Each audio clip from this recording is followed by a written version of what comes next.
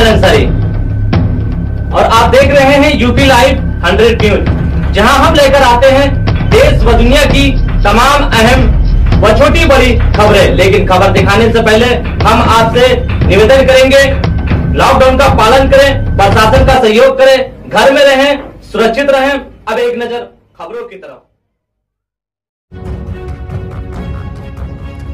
शादी समारोह में हर्ष फायरिंग का वीडियो हुआ वायरल। जनपद जालौन में शादी समारोह में हर्ष फायरिंग का वीडियो वायरल हो रहा है। मामले सिरसियाल कलार थाना क्षेत्र के ग्राम निपनिया की घटना बताई जा रही है, जहाँ पर एक विकट तमंचे से फायरिंग करता नज़र आ रहा है।